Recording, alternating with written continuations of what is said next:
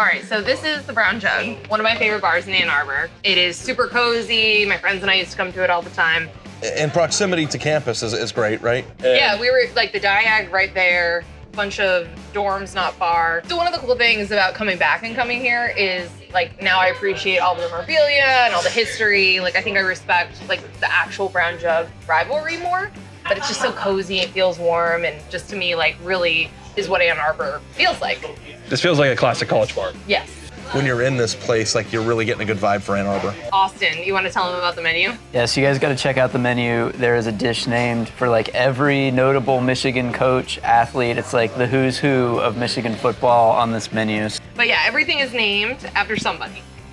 They don't they don't have the Nicole Auerbach baby back rib wrap though. Yes. Great town, great day, great friends. Thanks for spending that day with me. Cheers. Cheers, buddy. Cheers.